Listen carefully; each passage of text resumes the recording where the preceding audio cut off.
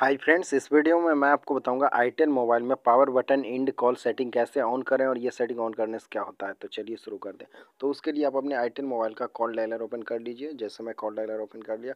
और उसके बाद ऊपर साइड राइट साइड कोने तरफ़ आप इस गोल से सेटिंग के बटन पर क्लिक करिए।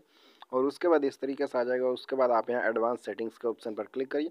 और उसके बाद इस तरीके से आ जाएगा, यहाँ पर आपको सबसे फ़र्स्ट में ही power button end call setting मिल जाता है। तो देख सकते हैं, ये सेटिंग अभी ऑफ़ है। ऑन करने के लिए आप यहाँ पर क्लिक करिए, आपका मोबाइल में power button end call setting on हो जाएगा। जैसे मैं यहाँ पर क्लिक किया, ये सेटिंग ऑन हो गया।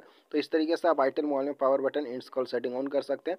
और ये सेटिंग ऑन करने से ये होगा कि जब भी आप कॉल करते रहेंगे और कॉल करते टाइम अगर जो आप पावर बटन दबा देंगे तो कॉल जो है वो कट हो जाएगा कॉल इंड हो जाएगा।